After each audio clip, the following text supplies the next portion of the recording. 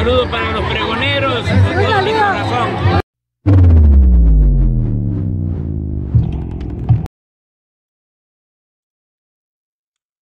Pregoneros, bienvenidos a una nueva transmisión más. Es un placer estar nuevamente con ustedes. Servidor Ian Rodríguez transmitiéndoles desde el día de hoy. Nos seguimos encontrando en este día, miércoles 16 de agosto del 2023. Si nos estás viendo por primera vez, muchísimas gracias por tu tiempo y por tu espacio. Solamente pedimos el apoyo con la suscripción para que cada día podamos ser más en esta gran familia. Señores, el día de ayer se adelantaron prácticamente los resultados por parte de este Frente Amplio, en donde ya se descartó al señor Enrique de la Madrid.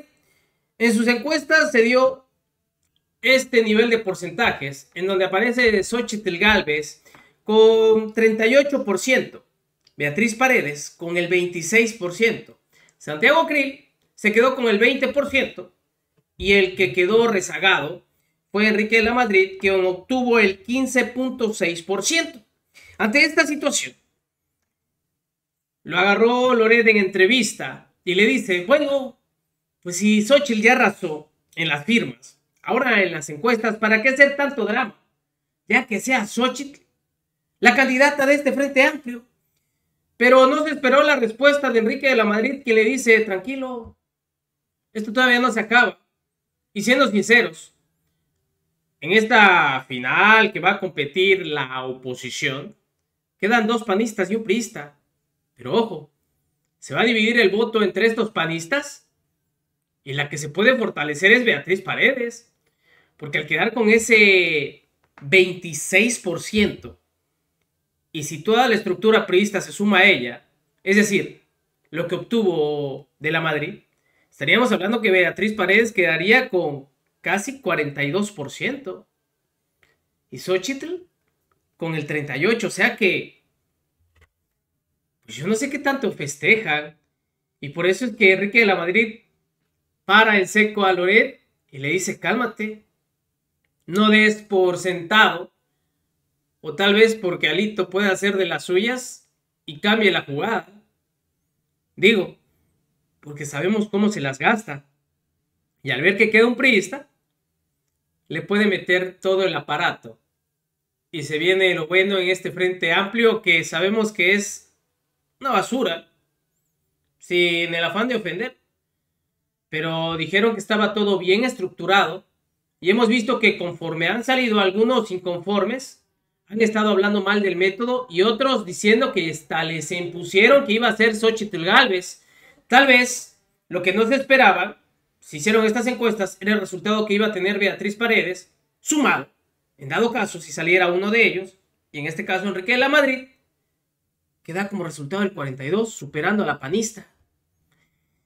No bueno, se viene lo bueno ante toda esta situación.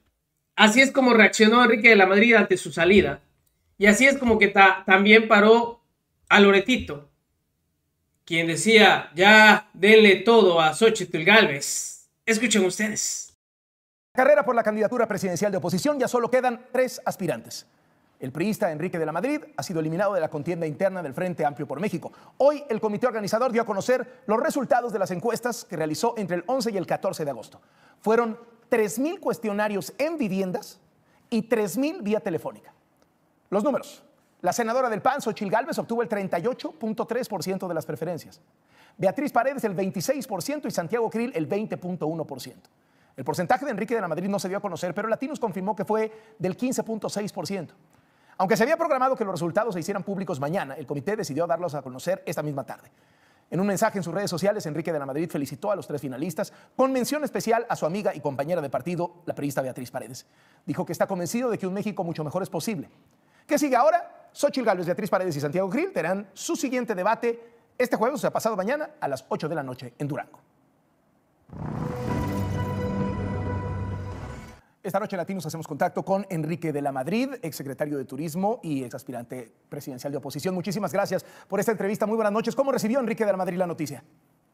Pues mira, Carlos, de alguna manera como que ya me decía el cuerpo que por ahí podría pasar, entonces tampoco te creas que me cayó tan de sorpresa, pero sobre todo con serenidad y convencido, convencido de que el Frente Amplio por México es la mejor respuesta, felicitando a mis compañeros, a Beatriz, a Santiago y a Xochitl, y haré lo, todo lo posible para que siga haciendo este Frente Amplio, el que siga construyendo la ilusión de un mucho mejor México, en el cual creo que es posible. ¿Acepta los resultados sin pataleos? Los acepto sin pataleos, convencido, eh, respeto a las reglas del juego, esas eran, esas son, y sobre todo muy, muy convencido de que viene un, un momento importante que invito a los mexicanos a escuchar los debates, a poner atención, porque en la política pues también hay que prestar atención a las ideas, quiénes de los que quedaron tienen las mejores ideas, las mejores propuestas, porque vamos a necesitar un equipo muy sólido para poder competir contra Morena y ganarles, Carlos. ¿Por quién va a votar Enrique de la Madrid? ¿Por cuál de los tres? Bueno, a ver, yo tengo una relación personal de amistad y también de colega de hace muchos años con Beatriz. La conozco muy bien. Es una persona muy inteligente, muy formada. Y yo creo que, bueno, pues va a ser una competidora extraordinaria.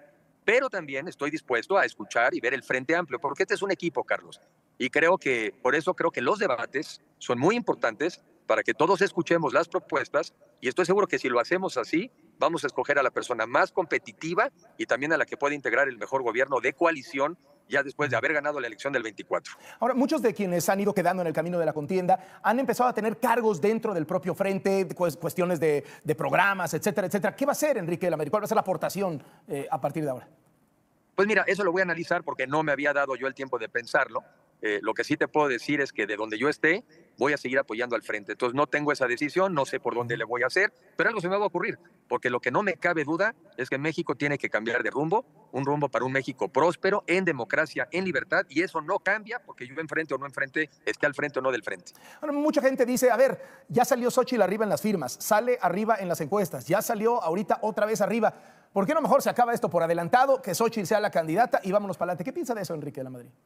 Dos comentarios. Creo que sería muy bueno que el comité nos pueda dar la información de cómo quedaron las encuestas de vivienda y cómo quedaron las encuestas telefónicas. Y de la información que yo tengo, Beatriz quedó pegadita a Xochitl en las encuestas de vivienda. Entonces, primero, no hay esa diferencia que dicen. Dos, en firmas ya muy parecidas también. Y tres, no se me desesperen, escuchen los debates. Yo no veo cuál es la ansiedad de algunos de querer adelantar el resultado. No se pongan nerviosos, hay que llegar al minuto 90 y el último minuto también tiene 60 segundos, Carlos. ¿Va a ser entre dos mujeres? ¿Va a ser entre Xochitl y Beatriz al final la candidatura opositora? Pues tampoco vamos a descartar a Santiago, pero evidentemente estamos entrando en un escenario también nuevo, diferente, y creo que pues estamos, es algo también histórico, histórico, que primero lo que estamos viviendo es histórico. Y segundo, bueno, pues que va a haber también dos mujeres muy, muy competitivas y sobre todo porque también sospechamos que del otro lado, ¿no? Del lado de las mal llamadas corcholatas, pues todo, todo el mundo asume que va a ser una mujer. Entonces, pues la historia nos está dando lecciones. Creo que las mujeres son tremendamente capaces. A la pregunta que siempre me hacen, oye, ¿una mujer pudiera encabezar la presidencia de la República? Claro que sí, y como por qué no. Entonces, pero yo invito a los mexicanos y mexicanas que escuchemos los debates, y una vez que hayamos escuchado los cinco, entonces valoramos quién queremos que encabece el frente. Ahora, Beatriz Paredes no parece haber generado, no ha generado eh, ni mediáticamente ni en términos de ánimo social, etcétera, etcétera, lo que ha generado Xochitl Gálvez. ¿No sería un escándalo, digamos, si hoy fuera el corte de caja, que no se la dieran a Xochitl Gálvez? ¿O no saldría como con poca credibilidad, muy debilitada en ese sentido? No, a mí lo que me parece un escándalo es que están queriendo hacer una historia que no se sustenta en la realidad.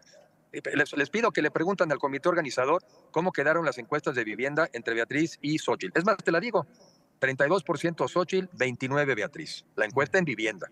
Entonces, pues yo... O sea, digamos, la diferencia que marca en realidad es la telefónica. En la telefónica salió mucho más arriba Xochitl Galvez según los datos que nos dice. Exactamente. Entonces, por eso yo digo que escuchemos. Ya, ya pasó, digo, luego con respeto. La Casa de los Famosos ya fue ayer, ganó Wendy. Ahora lo que queremos es ver quién gana en el Frente Amplio por México. Y démonos la oportunidad de escuchar. Es política, es serio. Mira, sí es serio saber si los niños van a tener o no medicinas para combatir el cáncer. Eso es serio.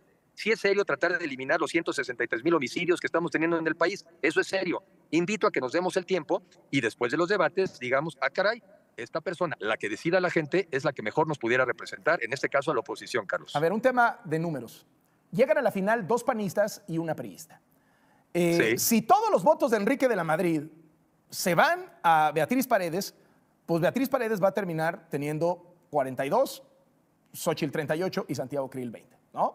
No necesariamente pasa eso, pero a lo que voy es, ¿no viene ahora la cargada priista toda con Beatriz Paredes y el PAN va a quedar dividido? Creo que claro, que, que es muy probable, es muy probable que el voto priista pues vote con Beatriz, no hay duda. Pero también hay ciudadanos y ciudadanos que deberán evaluar al final del día quién les convence. Y eso en serio, esperemos. Viene la segunda parte de este juego, o no juego, que son los debates. Ahí es donde tenemos que ver la mejor opción, el mejor mexicano, la mejor mexicana. Por eso este tema, en algunos que a veces dicen, ¿y por qué no ya decidimos? Pues porque no es momento de decidir, pues faltan 20 días, vamos a darles esos 20 días. Eh, ¿No sale muy desgastada la candidatura del frente opositor con todos los reclamos que ha habido de distintos aspirantes que han ido quedando en el camino, con el tema de los perredistas que ya lo llevaron hasta el Tribunal Electoral, etcétera? Pues mira, como yo no comparto esa visión, yo por eso estoy diciendo, yo respeto las reglas, yo estoy de acuerdo, yo me espero ver quién es la persona que también compita y porque yo estoy muy preocupado del rumbo que lleva este país y creo que el Frente Amplio por México es el mejor camino, la mejor salida y yo quiero seguir hablando de que este procedimiento sí funciona, yo lo respeto y yo me acojo a los resultados y los respeto, Carlos. Muchísimas gracias, Enrique de la Madrid. Muy buenas noches. Gracias a ti, buenas noches. Hasta luego, el aspirante que ha quedado eliminado ya de la final. La senadora panista Pues como ven, las cosas se van a poner buenas en este frente amplio. A ver con qué nos salen estos señores. Pero ojo, ¿eh? No descarten a Lito Moreno porque le queda a alguien y a ese alguien le va a meter todo el aparato priista. Así que, dicho sea de paso, ¿eh? hasta el mismo Ciro Gómez Leva ya explotó ante esta situación porque esperó que Xochitl no solamente ganara, avanzara con estas encuestas. Y quedó 12 puntos arriba, lo cual para él es un rotundo fracaso, porque no está compitiendo contra Beatriz, está compitiendo contra Morena. Y simplemente se le cayó del pedestal su candidata. No, bueno, y tal parece que el priista Enrique de la Madrid también lo anuncia. ¿eh? Son, son, todavía faltan unas etapas. Bueno, todavía falta la última etapa. Le dice, el partido tiene 90 minutos y el último minuto 60 segundos. Y se viene todo el aparato priista. A ver si no terminan peleándose. A ver si no termina mal. Este método que dijeron que iba a ser único e inigualable. Inició mal, siguió mal y puede terminar mal. Nos vemos en una siguiente emisión. Recuerden, la información está ahí y depende de todos nosotros el preguntar.